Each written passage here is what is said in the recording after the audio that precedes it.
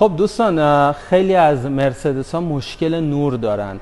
این تو شرایطی که عموما چراغای جلوشون بایزنونه. و نور بایزنون به نظر من کم نیست. نور قویه 25 هزار ولت برق توی چراغه.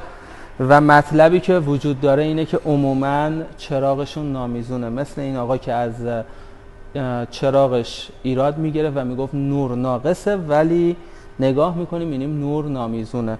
اینا رو باید حتما تنظیم نور کنن. الان اینجا رو شما ببینی. بله این نور پایینه میاد بالا. و این اینجوری نیست که بذاریم روبرو دیوار با دیوار سیمانی و اینا تنظیم کنیم. حتما باید لنز باشه.